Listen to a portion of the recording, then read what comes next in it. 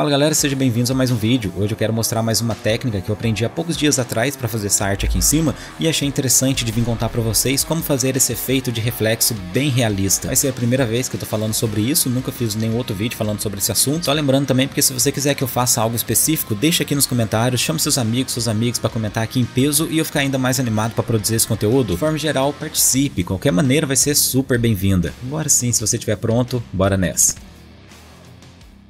Com essa técnica de hoje você vai conseguir aplicar em qualquer uma fotografia, mas aqui eu vou estar utilizando então esse cenário para conseguir simplificar a ideia de que eu vou construir um lago. Então aqui eu vou começar duplicando essa minha camada original com Ctrl Command mais J no teclado e essa daqui vai ser a minha layer de Lake. Eu vou também rotacionar ela, abrir o meu Free Transform com Ctrl Command mais T, girar ela verticalmente e agora flipar ela também horizontalmente. Posso reposicionar ela um pouquinho aqui mais para baixo, mais ou menos aqui, e vou dar um Enter no teclado. Para apagar essa informação extra, eu vou criar uma máscara nessa layer de lake, posso pegar o meu brush na cor preta com o opacity e o flow em 100% e o hardness também em 100% para ele ficar 100% duro, e agora eu consigo dar um clique aqui no começo, segurando o shift eu posso dar um outro clique aqui no final, e agora vou apagando todo esse restante aqui da fotografia com muito cuidado para não apagar partes que eu não quero.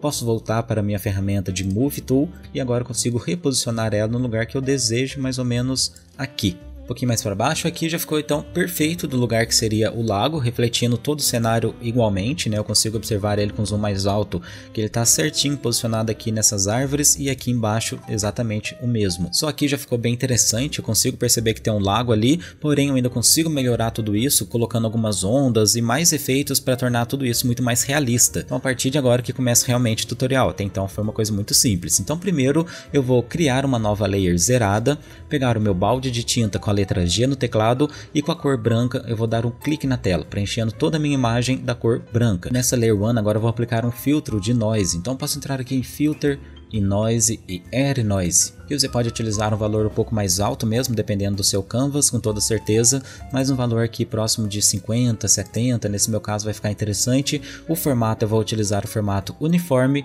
e é importante que você deixe configurado o monocromático ativo para não ter nenhuma cor nesse seu noise. Aqui você pode dar um OK e agora eu vou adicionar mais um filtro para interagir com esse noise que vai ser aqui em Filter, em Sketch e Best Relief que você pode ir configurando e encontrando o valor ideal para o seu caso. No meu caso que eu acho que já está interessante, então vou dar um OK. E agora por fim vou adicionar mais um efeito que vai ser o Filter, o Blur e Motion Blur. Aqui o Motion Blur novamente você vai configurar ele dependendo do seu canvas, mas aqui no meu caso entre 45, 50, talvez um pouco menor ainda, como 32 ficou bem interessante, posso dar um OK. Eu vou ajustar também aqui a proporção e a perspectiva desse formato, então posso abrir novamente o meu Free Transform com Ctrl Command mais T no teclado e agora clicar com o botão direito, vou vir em Perspective consigo ajustar aqui a perspectiva dele, trazendo um pouco mais próximo da lente.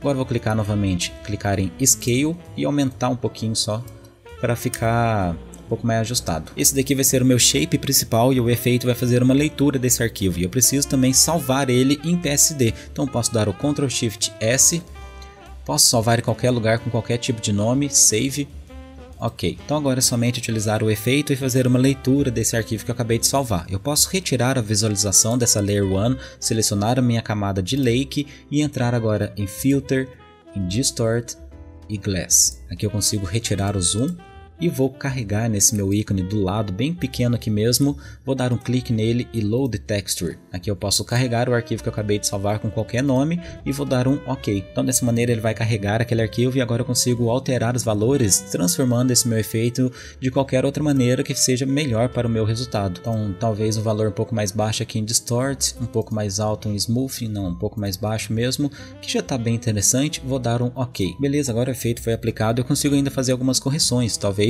tenha alguma parte que ele tenha ficado muito alto ou muito baixo, ele acaba criando algumas ondas até mesmo na base dele. Então você pode selecionar a sua máscara novamente, pegar a sua cor preta e fazer o mesmo clique, selecionando toda a sua imagem até chegar de um lado para o outro. E agora você pode fazer vários ajustes diferentes de cores e iluminação nas duas imagens separadamente. Por exemplo, se eu quiser fazer um ajuste no meu cenário, eu posso criar um Curves e abaixar aqui ou iluminar, seja lá o que for, e ele vai atuar somente na parte do cenário. E agora se eu quiser mover o meu lago, somente eu subir esse meu Curves e clipar ele na minha camada de lago, que agora ele vai afetar somente aqui embaixo. Poderia até mesmo suavizar um pouco essa minha seleção, ele está 100% duro, então clicando aqui na máscara venho nas propriedades e adiciono um feeder no valor um pouquinho mais alto, como 1.9 já ficou perfeito. Dessa maneira você vai deixando ela muito mais realista, deixando um pouco do seu toque e tornando a sua arte muito mais única. Então é isso aí galera, espero que você tenha gostado de mais esse vídeo, que você utilize no seu dia a dia e se utilizar até mesmo marque meu perfil para conseguir observar tudo isso. Se você curtiu esse vídeo e todos os outros que eu estou produzindo, ajude o canal também, se inscreva, ative o sininho, compartilhe com seus amigos e amigas, tudo isso daí ajuda demais. Eu espero que você tenha um ótimo dia, se proteja e até a próxima.